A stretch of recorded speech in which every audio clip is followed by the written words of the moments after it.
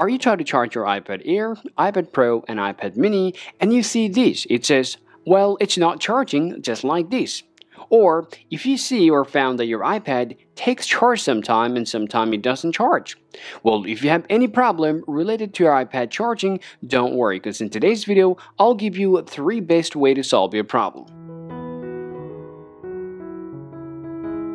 Now, to solve your charging issue, there are first things you have to understand is this problem mainly happens for your adapter, charging cable, and your port itself.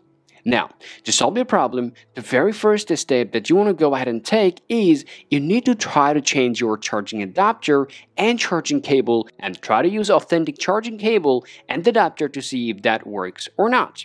Well, even after changing the cable and the adapter, if you still you have the problem with your iPad Air, iPad Pro, and iPad Mini, then you have to take a look inside of your port.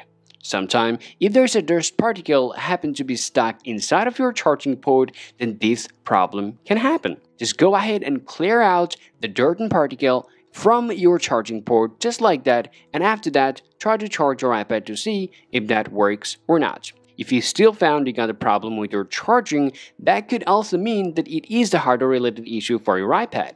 In that case, you might want to take your iPad to the Apple support or Apple Care, hopefully they will solve the problem for yourself.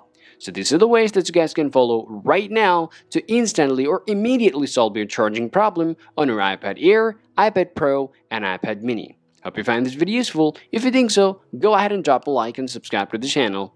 Thank you for watching, and I'll talk to you later.